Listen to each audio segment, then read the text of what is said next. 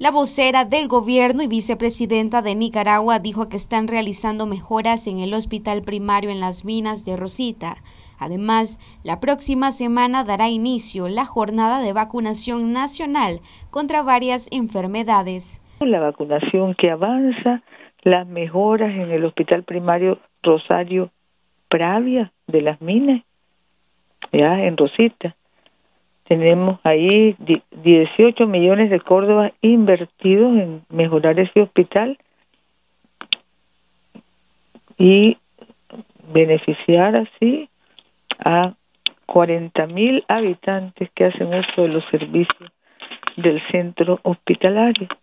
Luego tenemos también la Jornada Nacional de Vacunación, como explicábamos ayer, que inicia la próxima semana, que están garantizando el servicio a nuestro pueblo, la seguridad a nuestro pueblo y la promoción de salud a nuestro pueblo.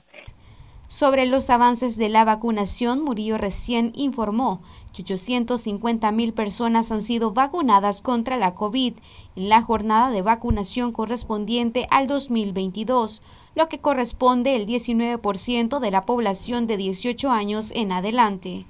Además, la jornada contra la COVID en personas de dos años en adelante con primeras, segundas y dosis de refuerzo se continúa desarrollando de forma paralela a nivel nacional en los más de 1.500 puestos de salud habilitados por el MINSA y la vacunación casa a casa.